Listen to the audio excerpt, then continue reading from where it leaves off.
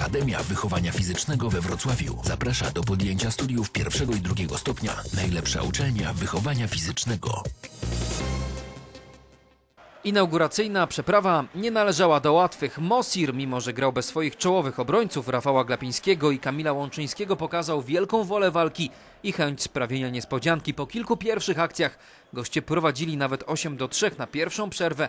W lepszych nastrojach schodzili jednak wrocławianie, którzy wygrali 10 minut 17 do 10.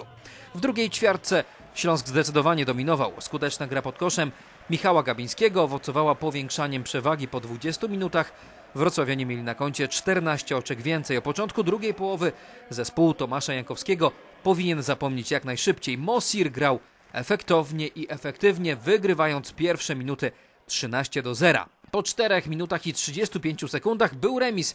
Po 41 od tego momentu znów lepiej grali gospodarze. Po 30 minutach to Śląsk prowadził 53 do 47. Na tym jednak emocje się nie skończyły. Po dwóch minutach ostatniej odsłony wydawało się, że jest po meczu skuteczna akcja.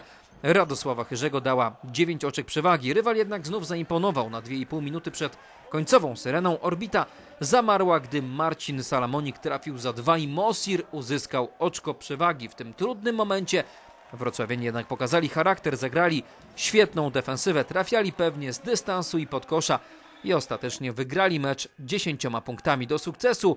Śląsk poprowadził Marcin Fliger, który do 18 oczek dołożył aż 10 zbiórek. Wrocławianie w serii do trzech wygranych prowadzą 1 do 0. Kolejny mecz dziś o 19.15, także w hali Orbita.